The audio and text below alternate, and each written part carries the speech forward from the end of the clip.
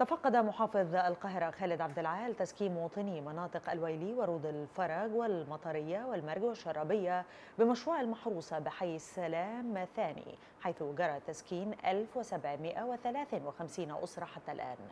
أكد المحافظ أن إجراءات نقل المواطنين للمساكن الحضرية الجديدة تمت بعد دراسات مستفيضة حيث كان الهدف هو نقل المواطن من مكان غير لائق به أو مهدد لحياته إلى مساكن مؤثثة بالكامل ويتوفر فيها كافة الخدمات اللازمة لتوفير حياة كريمة له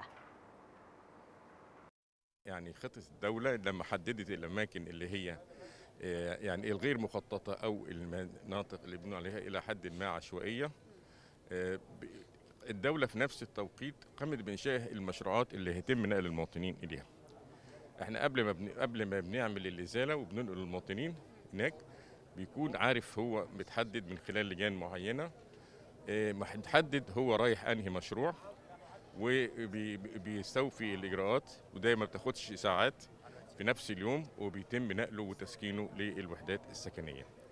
إحنا النهاردة تحديدا يعني يمكن شغال بنشتغل في ثلاث مناطق وهي مناطق آه، رود الفرج ومنشية ناصر والسبل عنتر في مصر القديمة.